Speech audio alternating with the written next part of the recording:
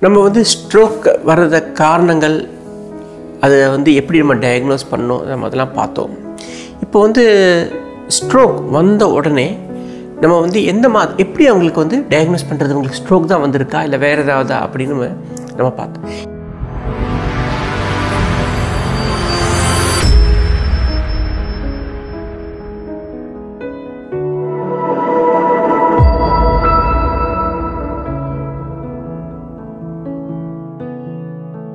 எப்படி பண்ணுவோன்னா இந்த பெஸ்ட் இன்வெஸ்டிகேஷன்ஸ் அப்படின்னு பார்த்தோம்னா அது எம்ஆர்ஐ ஸ்கேன் அந்த எம்ஆர்ஐ ஸ்கேன் பிரெயின்லேயே நம்ம வந்து எம்ஆர் ஆன்ஜியோகிராம் அப்படின்னு ஒரு ப்ரோட்டோக்கால் இருக்குது அந்த ஸ்ட்ரோக் ப்ரோட்டோக்கால்னே தனியாக பண்ணுவோம். அதில் வந்து எந்தெந்த இரத்த குழாய் மூடி இருக்குது பிரெயினில் ஏற்பட்ட தாக்கம் எல்லாமே நமக்கு ரொம்ப கிளியராக தெரிஞ்சிடும் ஸோ அந்த ஒரே இன்வெஸ்டிகேஷன்ஸ்லேயே நம்ம வந்து ஒரு எமர்ஜென்சியாக இந்த பேஷண்ட்க்கு இவ்வளோ தான் பிரச்சனை அப்படிங்கிறது ரொம்ப துல்லியமாக நம்ம கண் கண்டுபிடிச்சிடலாம் ஸோ இந்த எம்ஆர்ஐ ஸ்கேன் தான் இன்வெஸ்டிகேஷன் ஆஃப் சாய்ஸ் சில ஹாஸ்பிட்டல்ஸில் எம்ஆர்ஐ ஸ்கேன் இருக்காது. சிடி ஸ்கேன் எமர்ஜென்சிக்கு பண்ணுவாங்க. சிடி ஸ்கேன் இருக்கும். சிடி ஸ்கேனில் என்ன பிரச்சனை அப்படின்னா first four hours to six hours கிளியராக தெரியாது. ஸ்கேன் ஸ்ட்ரோக் வந்தவங்களுக்கு அதாவது அந்த ஸ்ட்ரோக் ஆகி ஒரு எட்டு மணி நேரம் கழிச்சு தான் சிடி ஸ்கேனில் அந்த பாதிப்பு தெரிய வரும். ஸோ அந்த இனிஷியல் டைமில் வந்து சிடி ஸ்கேன் பண்ணோன்னா நார்மலாக தான் இருக்கும். ஈஸியாக மிஸ் பண்ணிடலாம்.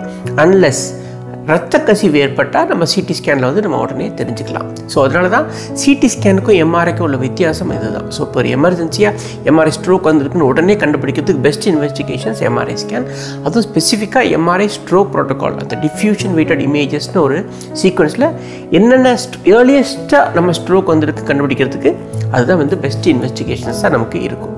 இப்போ வந்து அந்த இன்வெஸ்டிகேஷன்ஸில் நமக்கு வந்து எம்ஆர்ஐ பண்ணும்போது எப்பவுமே நம்ம எம்ஆர்ஐ பிரெயின் மட்டும் பண்ணக்கூடாது. ஸ்ட்ரோக்கை பொறுத்த வரைக்கும் எம்ஆர்ஐ பண்ணும்போது எம்ஆர்ஐ நெக் வெசல்ஸ் ஏன்னா நான் சொன்ன மாதிரி ரத்த குழாய் அடப்புனால தான் ஸ்ட்ரோக் வருது. ரத்த குழாய் வந்து ஹார்ட்லேருந்து பிரெயினுக்கு போகிற ரத்த குழாய் கழுத்து வழியாக தான் மேலே போகுது.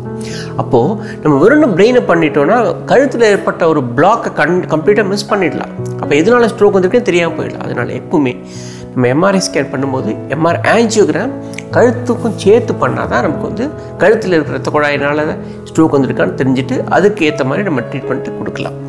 ஸோ இதுதான் வந்து நம்ம இன்வெஸ்டிகேஷன்ஸ் பண்ணக்கூடிய அந்த scans MRI stroke protocol MR angiogram இதெல்லாம் பற்றி நான் உங்கள்கிட்ட தெளிவாக சொல்கிறது இப்போ நிறைய இடங்களில் வந்து ஸ்க்ரீனிங் டூல்ஸ் அப்படின்னு சொல்லுவாங்க. இப்போ இவங்களுக்கு ஸ்ட்ரோக் வருமா அப்படிங்கிறதுக்கு அந்த டாப்லர் டெஸ்ட் அந்த கழுத்தில் ஆஞ்சியோகிராம் பண்ணுறது பதிலாக டாப்லர் டெஸ்ட் அல்ட்ராசவுண்ட் வச்சு அந்த இரத்த குழாயில் அடப்பு இருக்குதா அப்படின்னு செக் பண்ணி பார்ப்பாங்க. டாப்லர் பண்ணிக்கலாம்.